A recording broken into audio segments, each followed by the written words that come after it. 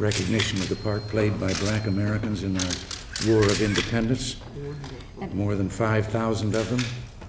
And we're And, uh, going to be sending copies of the resolutions with your signature to all the school classes in, in my district next year and to the other congressmen to do so Well, in their districts next year, Well, so. well, I think it's great to show appreciation to all uh, today's black citizens who are descendants of the, Right. of the black citizens and the, and the slaves at that time who fought for freedom, or for all our freedoms.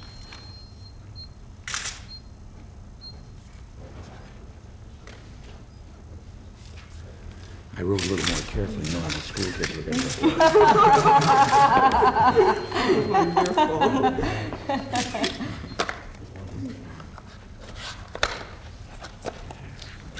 Thank you, Mr. President. Thank you, gentlemen. Thank you so much. Well, listen, thank you for doing this. It's a pleasure. It's high time. Let's go. Thank you, sir. Thank you very much. A lot of historians and genealogists are going to be very indebted to you for this. For bringing this Right. attention to the Thank country. Certainly is true. Thank you. See, all right. Hello there, special envoys, to see you.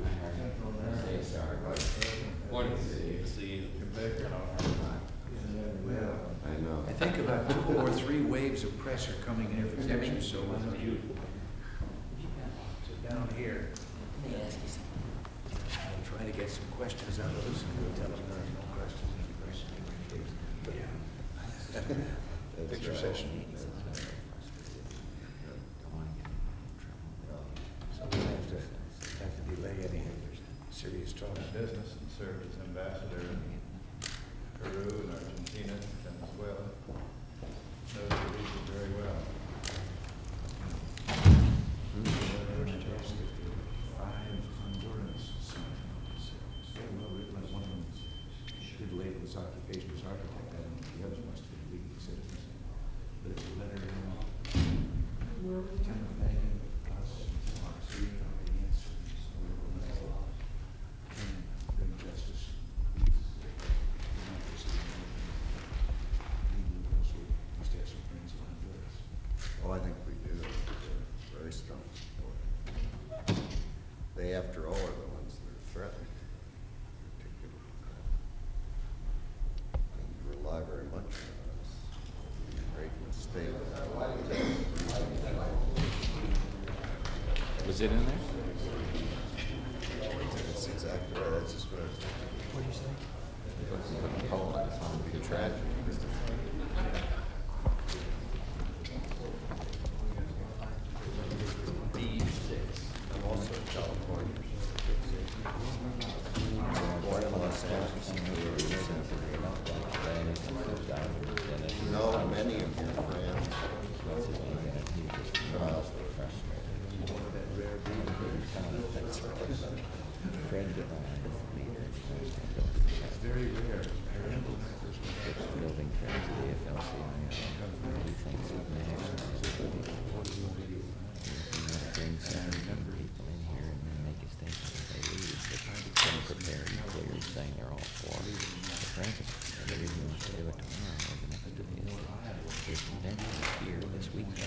And could, having done it, and do major ought to do it.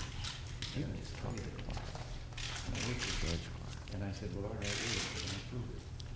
And, uh, we're just gonna see She's what it it's on. wrong. I just this said.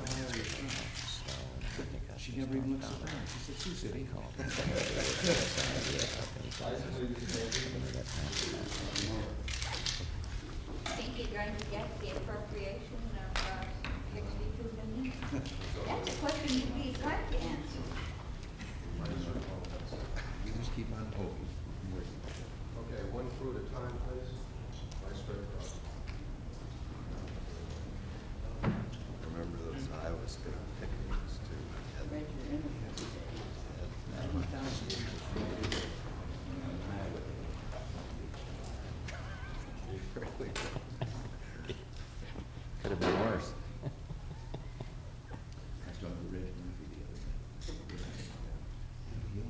San Francisco back here, Baltimore. He's homesick. Right, He was in the good end of the state, Mr. President. He was up there in San Francisco.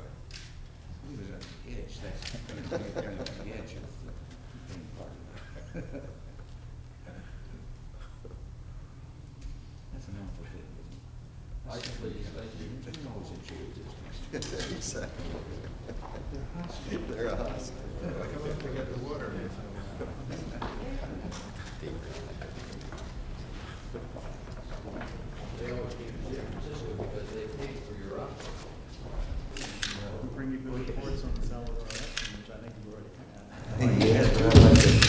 Had. Yes, here's some firsthand about it. It's a sensational Hi, experience. how are you? Good morning. Well, come in. Thank you, sir. Look at Salvador weather. No, you did. Uh, If you do as well in California as we did in El Salvador, the turnout is going to be sensational. We just heard this morning, it looks as if the vote will run up to one point four million, which would be over seventy-five percent as compared with eighty percent in Give me that again. I was distracted for a second. Hey, Tom, you? Hello, my God. Goodness. The uh, turnout in 1982 was about 80% of the registered voters. And with 95% of the returns in, you know, they're estimating the number of people who actually voted, who who got through the guerrillas and who overcame some of the snafus, probably about 1.4 million, and that'll be something higher than 75% of the registered voters. So we're talking about uh, just a very small number that didn't. And I can't tell you how many didn't vote, we'll never know that because of this reason or that reason, but what I think we're seeing is probably as much or more enthusiasm to vote than took place in nineteen eighty-two, less guerrilla effectiveness, even though they tried very hard, and perhaps less of an impact than the press gave you and others the impression on Sunday night and Monday of the confusion factor. That, and, you know, the very next day when they came home, our whole team of Yeah. observers down there insisted on coming over, we met in the cabinet room there. And, uh, just unanimous in their enthusiasm, some of them frankly admitting their thinking was changed by what they'd seen, and came back, and still the press is giving that other impression. little other twist that we get all the time. Yeah. No, we're all used to it down there. I think the facts now are gonna speak for the elections and not the impressions of the press. But our observers were tremendous in their enthusiasm. I think they're a very unified group, I think they had universally a very good report for you from what I hear, you know better than I. But the foreign observers from the other countries felt the same way. But it was stirring when you got down there and you saw these long lines of people all there in the hot sun, uh, waiting to vote. For them, there was a kind of national fiesta feeling, but also a sense of genuine privilege. A lot of them didn't know for whom or for what they were really going to vote. They all had sort of gut feelings. But the fact is, the fellows walked in from the guerrilla areas to vote. The guerrillas had torn up their ID cards. People came in from all over. Uh, even in the, in the major cities, at three o'clock in the afternoon, I went down to the big stadium and there was tremendous crowd voting. And uh, people were frustrated by that because the new register system was difficult to understand and they didn't know where they were going to vote. At three fifteen, like electricity through the crowd, the word came down that a decision had been made to let anybody vote anywhere. Uh, and lines formed, and I went back at five thirty in the afternoon, and everybody who ran into the stadium, he was, got in line, and we voted. So that whole stadium full of people voted before the six o'clock deadline. Uh, Next time, as you know, we're gonna probably have another election down here in a month. Why, we hope the system will be worked out better. But it was their system, we gave them the tools to do the job, and it was their system. Uh, and, and they, they live with the faults, but they also live with the success.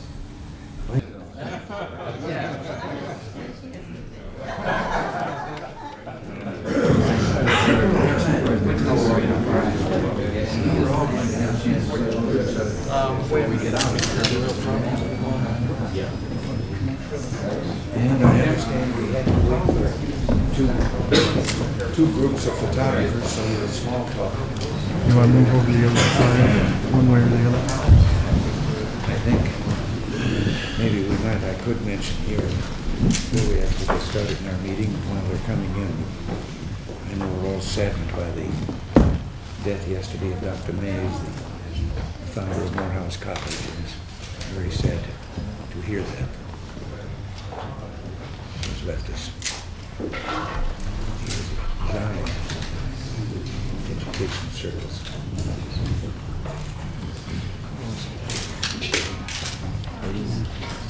Mm.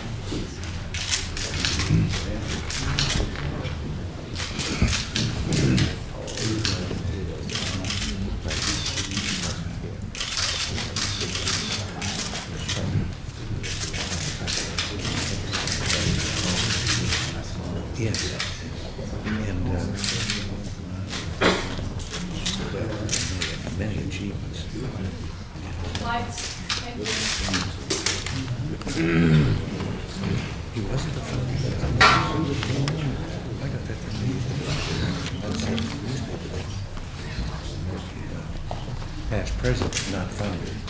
Yeah. So, um, almost.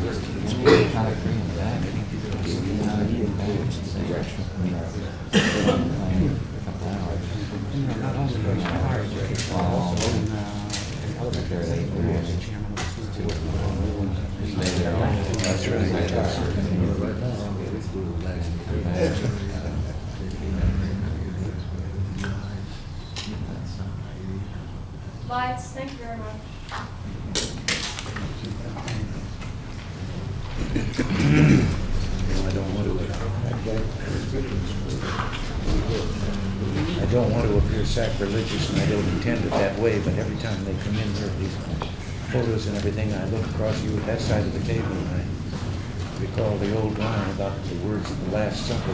The Lord said, anyone that wants to get in the picture, get on this side. Be able to reaffirm our commitment to the historically black colleges and universities. We accomplished a lot, I think, in the six months since we last met. Continued economic recovery, the emphasis on private sector partnerships have created a much more positive environment for progress towards self-sufficiency. And the enactment of the endowment legislation, I think, has further solidified the economic base of those institutions. You have before you the annual federal performance report that was called for by Executive Order 12330. And shows that federal support for your institutions in 1983 increased $61 million over the funding level of 81. It also describes a variety of private sector projects. And I'm also pleased to report that Secretary Bell is sending a task force to Fisk University of Nashville, Tennessee, to conduct a fact-finding mission. Fisk, I think, has long been considered a flagship among the historically black colleges and universities, and we're committed to providing the university with the technical assistance that it needs. Now, this is your meeting, so before hearing you, let me just offer my best wishes for the National Association of Equal Opportunity in Higher Education having a successful conference while you're all here in Washington. And I understand now that Dr. Prezell Robinson, President of St. Augustine's College and Board Chairman of the association, will uh, be the principal speaker and lead off. And of appreciate call, you know, uh, and, uh, since Wesley tipped yesterday, said I wrote his signature. And, uh, I figured that uh, I'd help you. My wife Nancy. Hello there. Nice to see you. This is my wife's. Hi, This is Krista. Well, nice to see you. Pleasure. Have you here. Hi. Hello, Mr. President. Look, this is true. That back here. Where, where are the Hi, two Mom. Esquire over at the I would- conversion? That's enough. Don't think I didn't use them down there in central Florida. And I think it's just, Well, having the, having had the experience myself, I know, because eventually, this is one of those things too, I discovered it was almost like changing religion. Mr. President, you told me, uh, when we talked before, that uh, how you made the change, and they came at the, the meeting there in California and said, well, you've been talking about changing, and here's where you sign.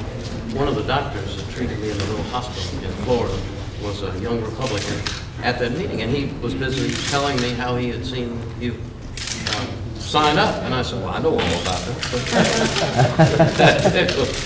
that. Yeah, it really was, yeah, it was great. Go in I had made the decision and was accepted as a Republican and was speaking at a fundraiser. And a woman stood up in the middle of the audience, in the middle of my speech, and asked me if I'd registered yet, be registered. And I said, no, but I'm going to. She says, I'm a registrar. I walked right down the aisle, put it on the That, that really is great. Lights, thank you.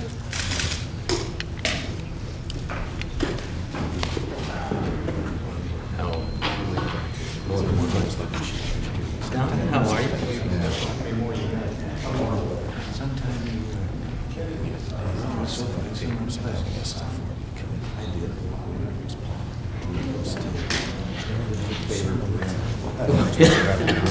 Well, no, that's just, that's, that's true, but I've gotten just uh, unsolicited five or six letters uh, of saying, you know, this is a wonderful thing. You, uh, Congratulations on having the fortitude to stand up, and it's been a really gratifying thing. Six thousand dollars, a little unsolicited funds, just saying this is, it's been a very gratifying. Mr. President, the party that Representative Ireland has just abandoned is now running ads uh, attacking the moral leadership of your administration, and Tip O'Neill was at it again today, saying that you are the champions of the greedy. Do you think those charges are going to stick? Lights, please, thank you, there's no question. No, because there is little or no basis for them. Uh, It's again a practice of guilt by accusation. They never add that most of those people were accused but cleared. Thank you. Thank you.